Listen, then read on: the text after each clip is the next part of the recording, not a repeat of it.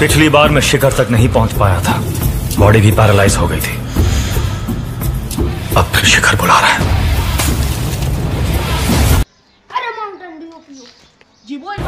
घूंट लगा। रिस्क उठा।